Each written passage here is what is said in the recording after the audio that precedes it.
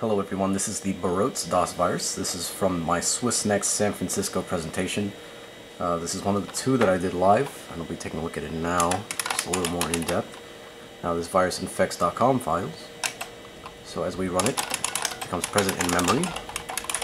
And if we look at our old favorite, graphics.com, not grr, graphics.com, see it's 19,742 bytes. Upon running it, Barrotes will infect it and the file size increases. We'll see the same thing with other .com files like sys. Becomes infected and now we'll trigger the payload, which happens on January 5th of any year, and we'll go ahead and restart. And while we're restarting, uh, this is actually a new monitor that I got, a new CRT, it's actually from 1997 or 8, I believe. And unfortunately, I was hoping I could change the refresh rate, and I can, and it looks really good in Windows 95 at 60 Hz on this camera. However, on um, DOS, DOS is stuck at 70 Hz, and that's what causes the flickering.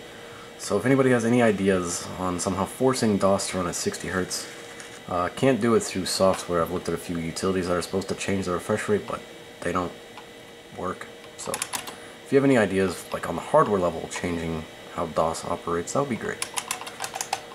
So we're going to go to DOS, we're going to run one of our infected files, and we'll see the payload. There we go, it took a little bit. Now we have colored bars pulsating on the screen. This appears over everything, even directory listings. If we try to run programs, well, edit crashes and doesn't quite work. Outputs a bunch of garbage text. Changing directories, trying to clear the screen doesn't work. You're stuck with these colored bars over everything see, what other graphical programs we have? I think there's a ScanDisk. Alright, it uh, it didn't like that. Scan it doesn't like ScanDisk. So, as you can see, it becomes pretty unstable when the virus is active with its payload. And that beeping is pretty annoying, so I'm just going to end the video here. That's about it for the Barrotes DOS virus. Thanks for watching. If you have any ideas on fixing the CRT issue, let me know in the comments. Alright, later.